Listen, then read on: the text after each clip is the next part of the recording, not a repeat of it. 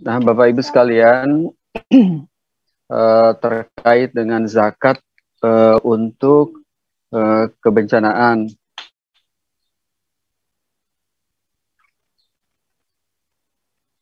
Jadi, uh, sebelum kita membahas tentang boleh atau tidak, apabila boleh, seperti apa tuntunannya, apabila tidak boleh, apa alternatifnya, kita harus terlebih dahulu mempunyai gambaran yang jelas tentang seperti apa bencana alam dan konsekuensinya. Kita lanjut ke halaman berikutnya ya.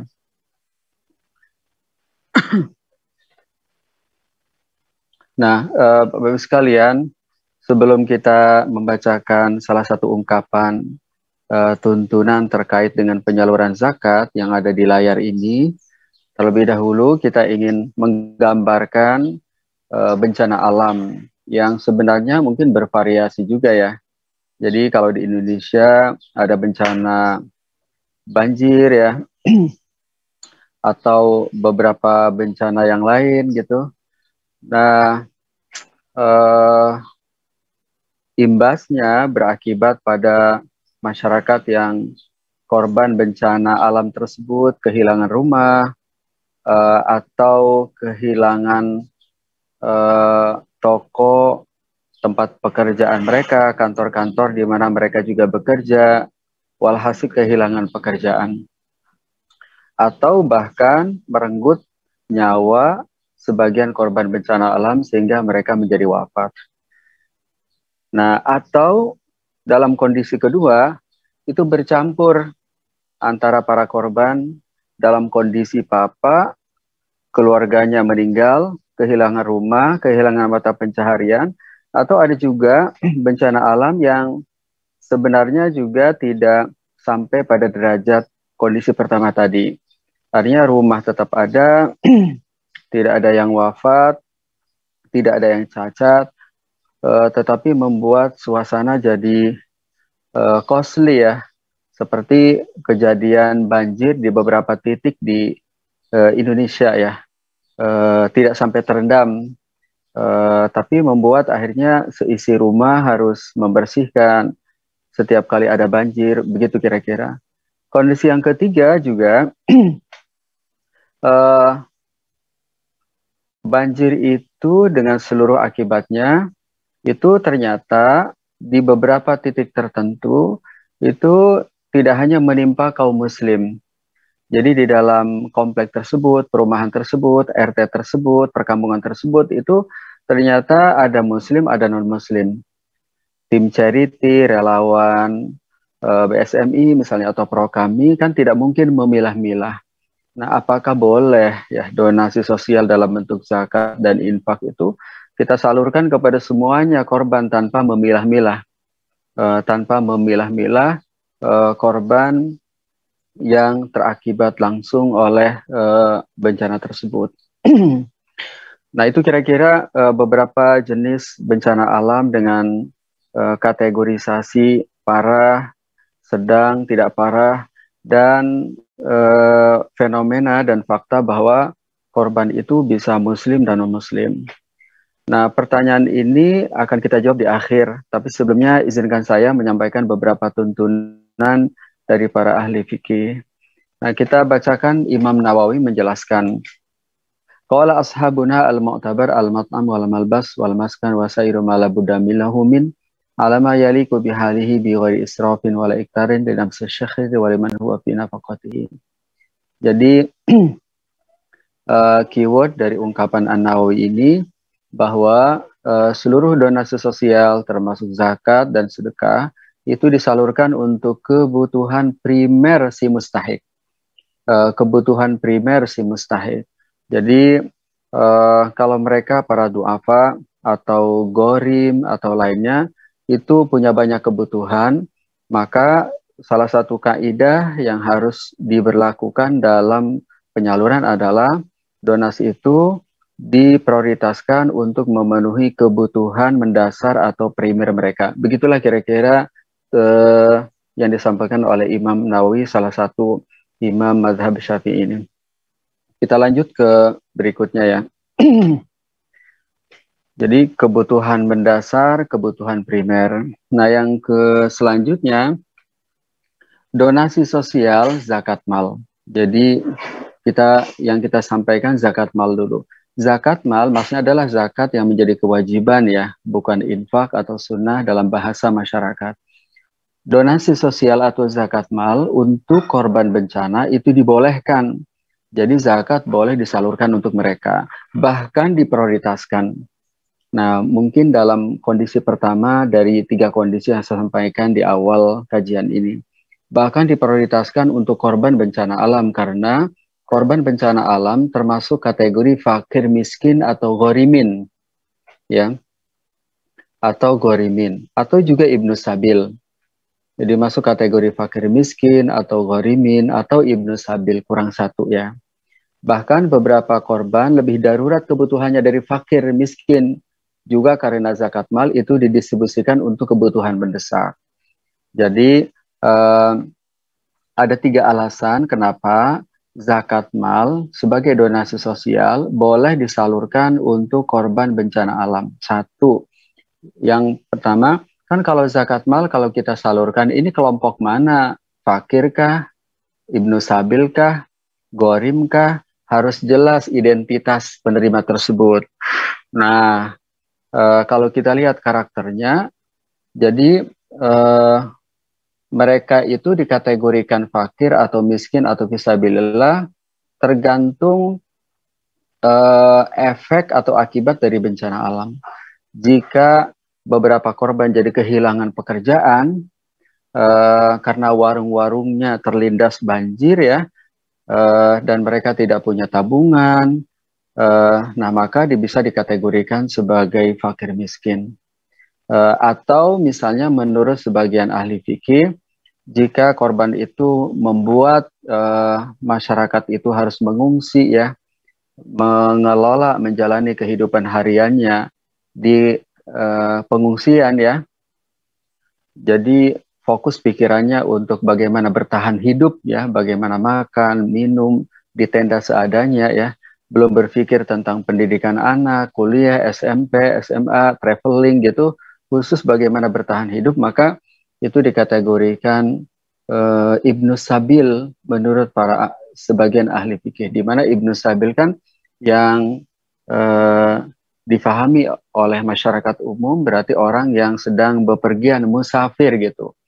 Nah, kondisi mereka yang harus mengungsi itu sesungguhnya kondisinya lebih darurat, lebih tidak nyaman, lebih membutuhkan dari sosok uh, musafir Ibnu Sabil.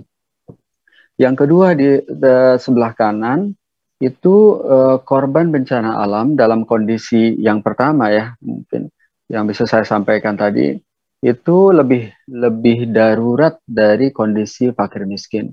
Jadi jika fakir miskin kita maknai dengan orang yang tidak memiliki pekerjaan, sudah mencari tapi nggak punya. Mungkin beberapa korban bencana alam yang kehilangan ayahnya, ya tinggal ibu dan anaknya dalam kondisi rumah itu eh, apa eh, misalnya sudah tidak ada nah maka betul-betul memang sangat fakir gitu yang ketiga juga karena zakat mal itu didistribusikan untuk kebutuhan mendesak, kebutuhan mendasar, kebutuhan primer. Mereka korban-korban bencana alam dalam kondisi sangat kritis itu eh, kehilangan kebut kehilangan uh, infrastruktur uh, mendasar mereka gitu ya. Atas tiga alasan ini maka zakat mal itu boleh didiskusikan untuk uh, mereka ya.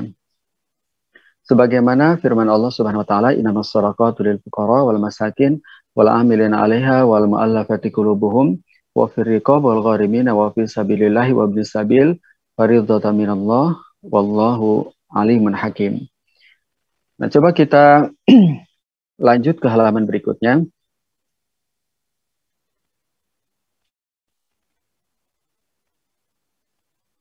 Nah, eh, tadi korban bencana alam kita kategorikan ke dalam tiga ya. Eh, eh, jadi yang pertama adalah fakir miskin, yang kedua gorimin, yang ketiga kondisi darurat. Jadi mungkin uh, kita kategorikan yang ketiga ini Ibnu Sabil lebih tepatnya ya. Jadi donasi sosial untuk korban bencana dibolehkan karena diprioritaskan karena termasuk tiga kategori tadi ya, fakir, miskin, goremin.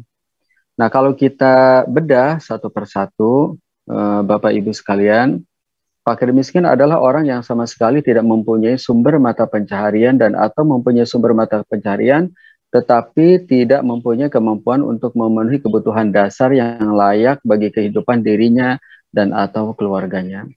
Jadi orang yang kehilangan mata pencaharian ya, seperti uh, kondisi sebagian kondisi korban bencana alam ya atau uh, punya pekerjaan tetapi tidak tidak bisa mencukupi kebutuhan mendasar mereka. Mungkin sebagian petani, nelayan, uh, ojek pangkalan dan lainnya ya punya pekerjaan tetapi tidak bisa memenuhi kebutuhan keluarganya itu fakir miskin. Kemudian yang kedua tentang gorim.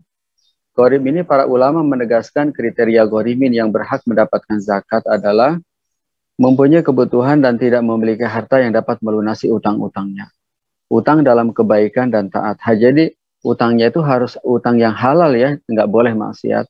Yang ketiga utang jatuh tempo. Itu yang masuk dalam kategori gorimin. Jadi terlilit utang bukan sekedar berutang tetapi terlilit utang. Ya, kondisi darurat. Jadi di mana korban tidak hanya kehilangan mata pencaharian ya, tetapi kehilangan tempat tinggal, keluarga dan lain-lain. Ini potret ini mungkin potret untuk korban bencana alam yang parah ya, yang parah. Nanti mungkin sebenarnya perlu kita pilah-pilah ini jenis korban bencana alamnya ya. Kondisi ini bagian dari kepapaan yang mendesak untuk diberikan bantuan. Nah, Uh, dari uh, beberapa slide yang saya jelaskan ini, ini berbicara tentang zakat mal sebenarnya. Zakat mal. Jadi zakat mal diprioritaskan untuk jenis korban bencana alam yang darurat ya, kehilangan pekerjaan, rumahnya hilang, atau bahkan sebagian keluarganya wafat ya.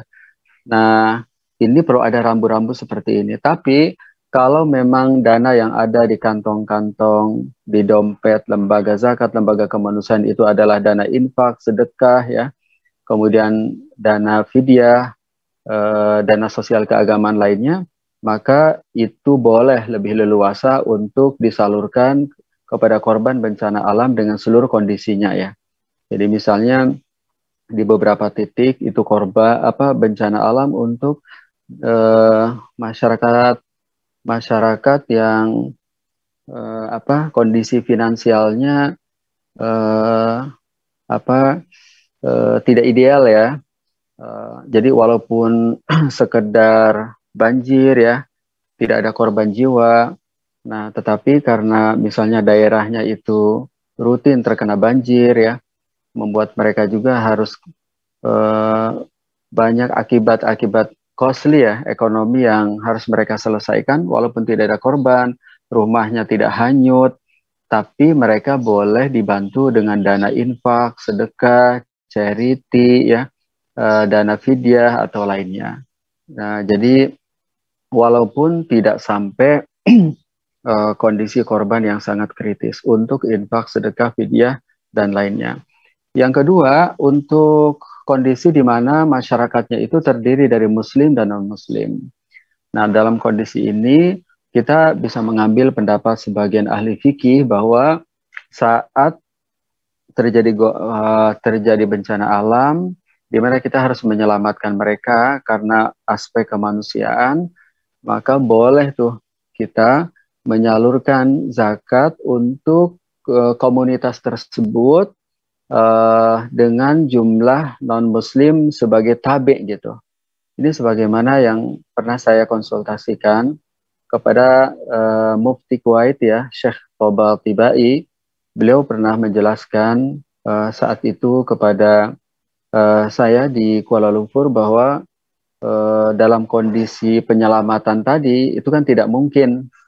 Oh ini non non muslim ya udah nggak usah diangkat aja. Nggak mungkin juga.